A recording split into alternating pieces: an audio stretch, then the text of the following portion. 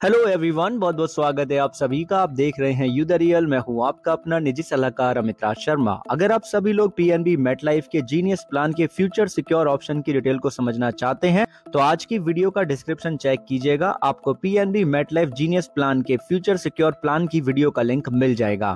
श्रीमान जी, आपके कमेंट के लिए धन्यवाद। आपको पता ही है की चैनल पे प्रत्येक वीडियो आप ही लोगों के प्रश्न सुझाव कमेंट के अनुसार रोज़ाना आती है। इसलिए हमारे साथ जुड़े रहें और वीडियो को लाइक करें शेयर करें चैनल को सब्सक्राइब सब्सक्राइब करके ऑल नोटिफिकेशन बेल को ऑन करना ना भूलें जिससे सभी लेटेस्ट वीडियो की जानकारी आपको मिलती रहे। तो आइए वीडियो शुरू करते हैं और सबसे पहले हम समझेंगे पीएनबी मेट लाइफ के कॉलेज प्लान की एलिजिबिलिटी क्राइटेरिया को। ये एक पुराना प्लान था और इस प्लान ले, को लेने के लिए जो आयु सीमा रखी गई थी वो थी 20 साल से लेके 45 साल तक की। प्लान में जो मैक्सिमम मेच्योरिटी एज का लिमिट था वो था उनहत्तर साल यानी कि 69 इयर्स और प्लान लेने के लिए जो सालाना प्रीमियम का लिमिट था मिनिमम वो था अठारह हज़ार। अगर आप सालाना प्रीमियम पे करते थे अदरवाइज़ तीस हज़ार रुपए सालाना। प्लान में पॉलिसी टर्म और प्रीमियम पेमेंट टर्म दोनों ही इक्वल रखे गए, जो कि 12 साल से लेकर 24 साल तक के हुआ करते थे।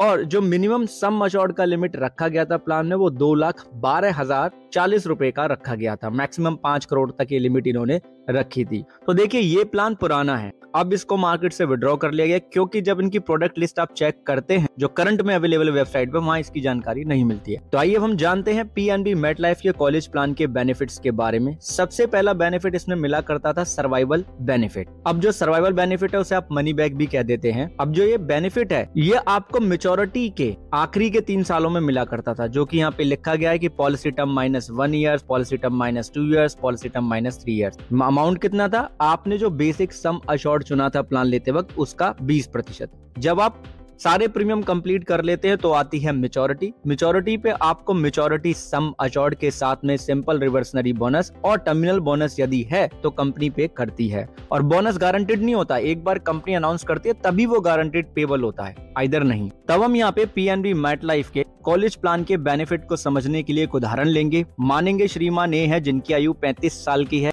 उन्होंने ये प्लान लेते वक्त 20 साल का पॉलिसी टर्म चुना तो 20 साल का ही प्रीमियम पेमेंट टर्म हुआ और सालाना उन्होंने तीस हज़ार रुपए का प्रीमियम पे किया करते थे।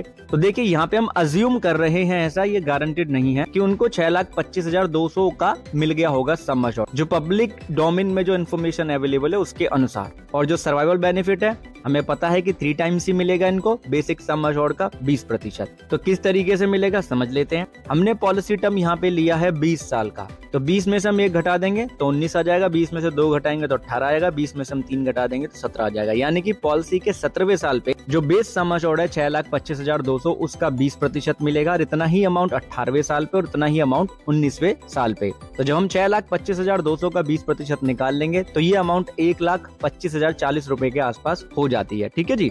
तो यानी कि मेच्योरिटी से पहले total sum of survival benefit जो हो जाएगा, वो तीन लाख पचहत्तर हज़ार एक सौ बीस रूपए का मिल जाएगा। कब मिलेगा? जब लगातार प्रीमियम पे कर ली है, लगातार राइट तब।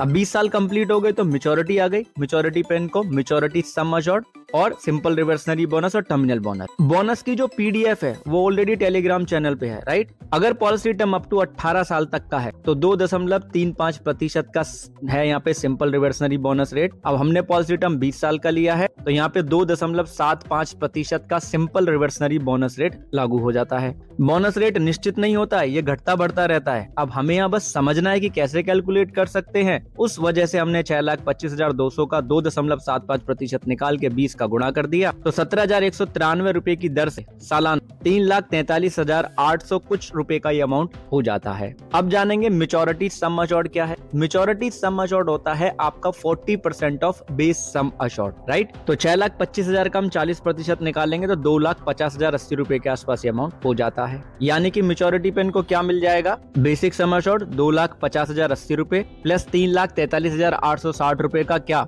सिंपल रिवर्सनरी बोनस और टर्मिनल बोनस यदि होगा तो मिल जाएगा। अब हम सबका टोटल कर लेंगे। तो तीन लाख पचहत्तर हज़ार एक सौ बीस रूपए का तो इनको मिल गया मेचोरिटी से पहले ही सर्वाइवल बेनिफिट और पाँच लाख तिरानवे हज़ार नौ सौ चालीस रूपए का मेचोरिटी बेनिफिट मिल गया। दोनों को जोड़ दिया तो नौ लाख उनहत्तर हज़ार साठ रूपए प्लस टर्मिनल बोनस अब टर्मिनल बोनस का रेट हमें नहीं पता चला।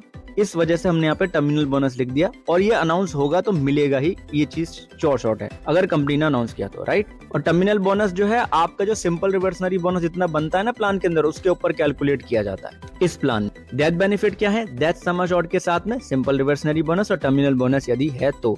अब देखिए सिंपल रिवर्सनरी बोनस की कैसे कैलकुलेशन करनी होती है? बिल्कुल सिंपल है कि बेसिक सम अशॉर्ड का प्रतिशत निकालने और जितने साल का पॉलिसी टर्म है या जहाँ तक प्रीमियम पे कर दिया, वहाँ तक उसको गुणा कर लीजिए। जो भी बोनस रेट होगा उसके अनुसार। टर्मिनल बोनस आपको एक्जैक्टली कंपनी बता ही देगी, ठीक है? ये दोनों चीज़ क्लियर है। तो हमें क्या जानना है यहाँ पे? डेथ सम अशॉर्ड जानना है। दस समझौड़ के लिए क्या करते हैं? सालाना बेस प्रीमियम में दस का गुणा कर देते हैं और उसका कंपैरिजन कर लेते हैं बेसिक समझौड़ से। दोनों से जो भी ज़्यादा होता है, दोनों में से वही होता है डेथ समझौड़ प्लान कहता है कि किसी भी कंडीशन में टोटल पेड प्रीमियम जो बेस प्रीमियम है जिसमें से टैक्स और चार्जेस आप घटा देते हैं, उसका 105 प्रतिशत तो कम से कम डेथ बेनिफिट होगा ही राइट लेकिन मैं कहता हूँ कि जो आप बेसिक समझ और है ना आपका, उतना तो आप डेथ बेनिफिट मान के चलो ही चलो। अगर बोनस नहीं भी अनाउंस हुआ तो वैसा ऐसा होगा नहीं। पर नहीं भी हुआ तो। अब मान लेते हैं श्रीमान ए की मृत्यु पॉलिसी के 10 साल बाद हो गई। तो बेस समझ और हमें पता है छह लाख पच्चीस हज़ार दो सौ का लिया था हमने।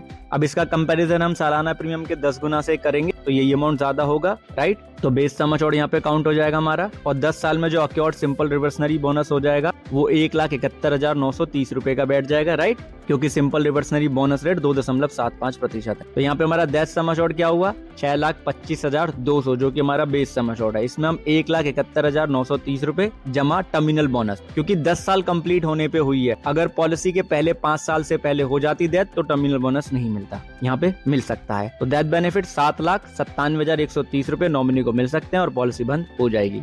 अब बात आती है सरेंडर वैल्यू की, क्योंकि बहुत सारे लोगों के पास ये प्लान होगा, जो सोच रहे होंगे सरेंडर करने का। तो देखिए सरेंडर करने के लिए अगर आपने तीन साल लगातार प्रीमियम पे कर रखा है, या आपने लगातार तीन साल प्रीमियम पे कर लिया तो आप सरेंडर कर सकते हो। ऐसे में जो मिनिमम सरेंडर वैल्यू होती है, उसे हम गारंटेड सरेंडर वैल्यू कहते हैं।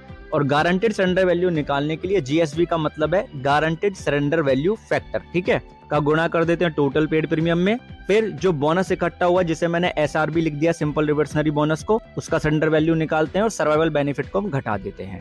अब हम मान लेते हैं कि श्रीमान ए पॉलिसी के 10 साल कंप्लीट होने पे पॉलिसी को सरेंडर करना चाहते तो हमें पता है जस्ट अभी हमने कैलकुलेट किया था, छह लाख पच्चीस हज़ार दो सौ का दो दशमलव सात प्रतिशत निकाल के उसमें दस का गुणा करके एक लाख इकहत्तर हज़ार नौ सौ तीस रूपए का हमारा अक्योर सिंपल रिवर्सनरी बोनस आ गया था। तीस हज़ार रूपए सालाना प्रीमियम पे कर रहे हैं तो दस साल में तीन लाख रुपए पे कर लेंगे। और सर्वाइवल बेनिफिट नील हो जाएगा क्योंकि वो मेच्योरिटी के आखिरी सालों में मिलता है राइट तो सर्वाइवल बेनिफिट मिला नहीं। तो यहाँ पे गारंटेड सेंडर वैल्यू क्या होगी जी? जो हमने तीन लाख रुपए पे किए हैं प्रीमियम के, उसका साठ प्रतिशत निकालेंगे, फिर इसमें हम जोड़ देंगे एक लाख इकहत्तर हज़ार नौ सौ तीस का दो दशमलव शून्य छह प्रतिशत निकाल के राइट अब ये साठ प्रतिशत क्या है? गारंटेड सेंडर वैल्यू फैक्टर है प्रीमियम के लिए और दो दशमलव शून्य छह प्रतिशत है बोनस के लिए गारंटेड सरेंडर वैल्यू फैक्टर तो अमाउंट आ जाएगा एक लाख तिरासी हज़ार पाँच सौ इकतालीस रुपए छिहत्तर पैसे के आसपास, ठीक है?